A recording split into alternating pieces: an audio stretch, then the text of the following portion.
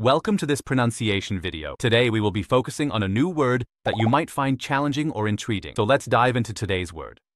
Tai'er, which means fetus in Chinese. Let's say it all together. Tai'er.